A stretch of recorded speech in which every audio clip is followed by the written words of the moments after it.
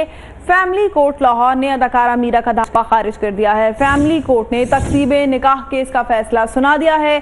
अदालत ने मीरा को अतीक की बीवी करार दे दिया है। अहम खबर से आपको आगाह कर रहे हैं कि नौ साल के बाद ये फैसला आया है।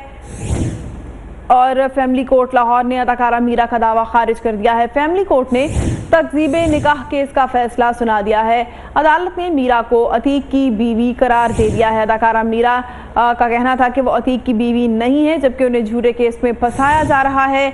जबकि अब नौ साल के बाद ये फैसला आ गया है। फैमिली कोर्ट लाहौर ने अदाकारा मीरा का दावा खारिज कर दिया है।